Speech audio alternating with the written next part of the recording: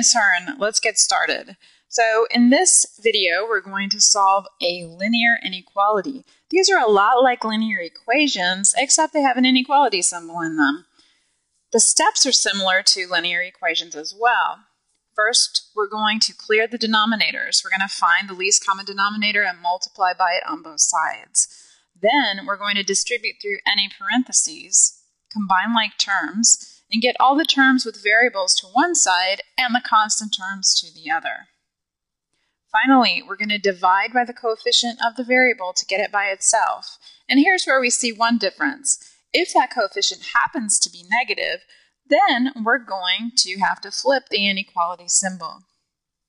Finally, we have different options for writing the solution set than we do for a regular linear equation because there are an infinite number of solutions. We can write the solution set in set builder notation, we can graph it on a number line, or we can write the solution set in interval notation, which is what we do in this example.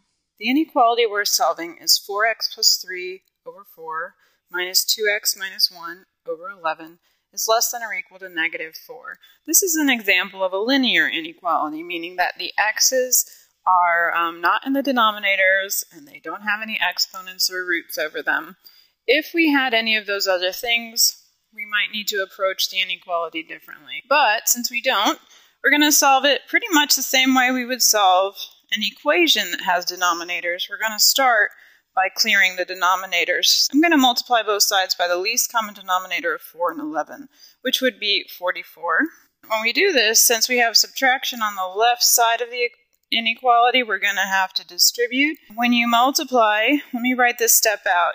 You want to get to the point where you can do this step in your head, but this is what you're thinking. You're thinking of the 44 going into the numerator of each of these fractions. And then you're thinking on the right, let's see, 44 times 4, we're going to have negative 176.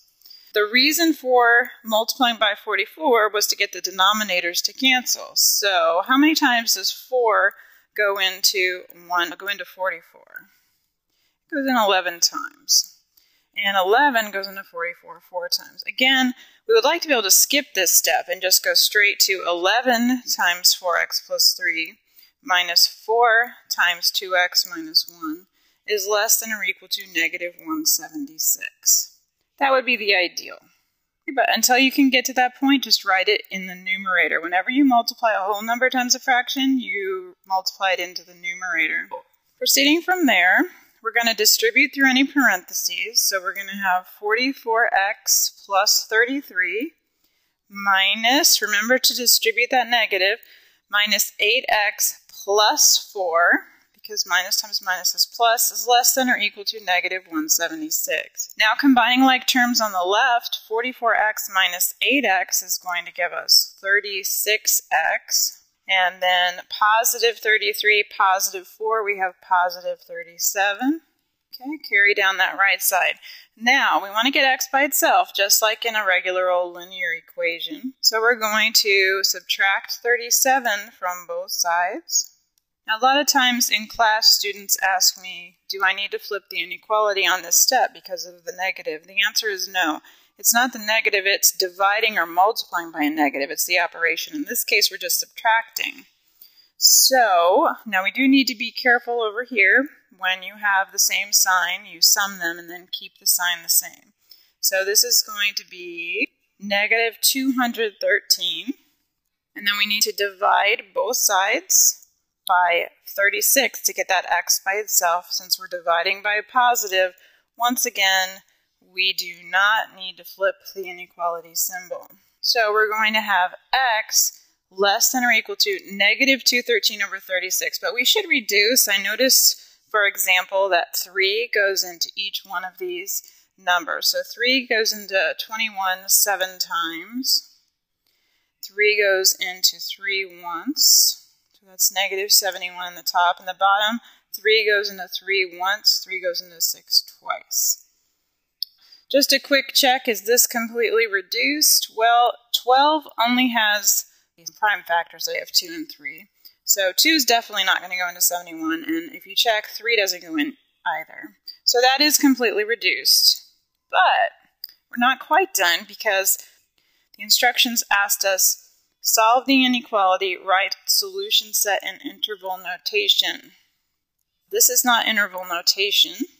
How do we write this in interval notation? If you're comfortable with interval notation, you probably can immediately write it in interval notation. But for those who are getting comfortable with it, I recommend you draw it on a number line first. You place the number value that you have on the number line, in this case, negative 71 over 12.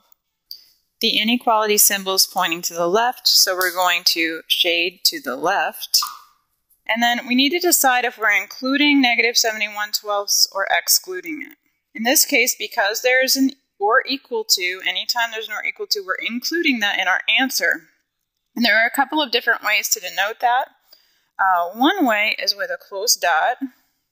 The way that I prefer, because it corresponds to interval notation, is to actually use a bracket a bracket as opposed to a parenthesis facing the direction of the shaded region of the number line indicates that we're including negative 71 twelfths in our solution set, as well as everything smaller than negative 71 twelfths. Since this interval goes on forever in the negative direction, we know that our answers are going to include everything from negative infinity up to our boundary point, negative 71 twelfths.